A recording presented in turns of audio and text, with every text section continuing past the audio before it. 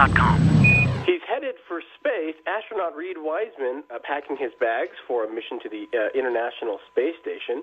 Uh, but before he does that, uh, he has to make sure he's ready to go. Uh, uh, astronaut Reid Wiseman with us today, Expedition 39 and 40. how are things? What what is on your plate right now as you get ready to fly?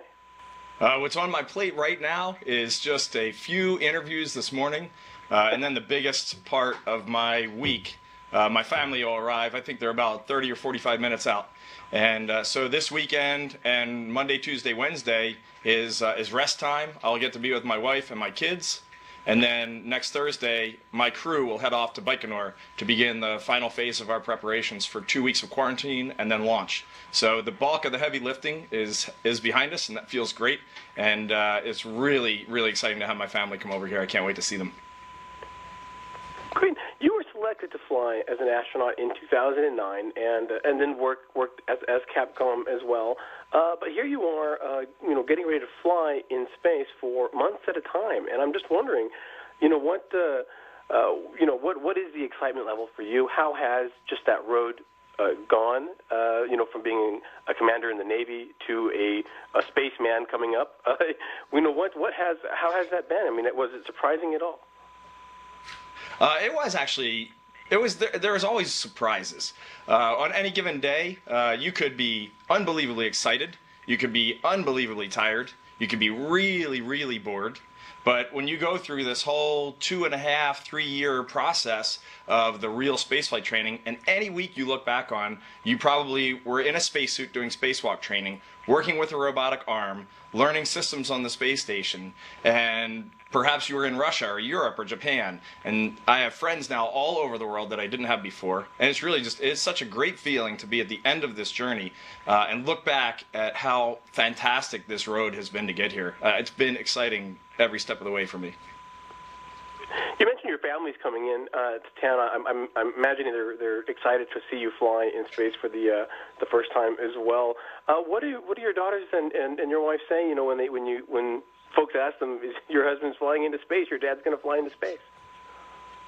Yeah, it's a it's a really weird thing to live in Houston amongst this group of astronauts really i mean most of our friends are astronauts and and so for the kids i think they just think this is a normal dad thing to go do or mom thing to go do and so they they think it's cool but they don't have that imagination i think like i had when i was 10 years old of people flying into space that's such a dream that's so far out uh, it's not even worth trying i mean you, you gotta try uh, but for my wife uh, I was in the Navy. I went away for six months at a time, and she's kind of used to that sort of come and going type of behavior. I think, of course, she's pretty nervous right now. She told me that yesterday.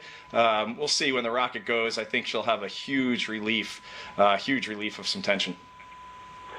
Now, is there one thing that you have your heart set on doing when you have some free time on your mission? Uh, I know everyone likes to look out the windows. They tell us, uh, uh, but you, you know, has, has there one like project or or activity you've really just been thinking about in the background that this is what I'm going to do when I get up there? Uh, well, I think that one funny thing that I did on Facebook and Twitter was I asked for friends just to give me a bucket list. What are the things that you would do in space if you had one chance? Because that's really what I have right here. And I got a list of about 20 things. Uh, most of them were actually pretty funny. Uh, some someone wanted me to play a uh, Quidditch match. Uh, there are some some other people who want you to just take a picture of your face every day so you can see what happens with fluid shift as your as your face gets full of all your fluid. So really, to me, I think uh, I already uh, made a matrix of this bucket list, and I want to just start checking it off one one step at a time. And some of it will be looking out the window, and some of it will be doing some kind of interesting things. And I'm sure there will be some things added to the bucket list as time goes on. And do you hope to continue just that that that outreach through social media when you're in space, Twitter photos, that kind of a thing? 100%, 100%. This is my first space flight, so my goal when I get up there, first I got to learn how to live and work in space. And then after that, I have to be a really good worker bee for NASA, for our European and uh, international partners, because that's my job from 9 to 5, is getting the work done, getting the science done.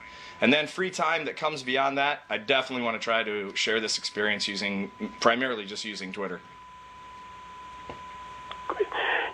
You uh, are launching on a, a Russian Soyuz uh, spacecraft, and obviously a, a different space program than uh, than NASA. And I've seen photos of different types of traditions uh, that the Russians do have, and I'm wondering what you have found uh, to be either the most interesting or or the most um, uh, uh, moving tradition that the the, the program has as station crews get ready to fly.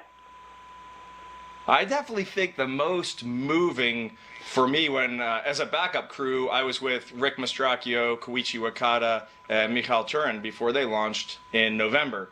And the, the, the part of this, the traditional ceremony there is the planting of the tree in Baikonur at the Cosmodrome there. Every person, the first time they fly on a Russian vehicle, uh, plants a tree. And now there's this beautiful promenade of these really old trees as you walk down to overlook uh, the river there in Baikonur.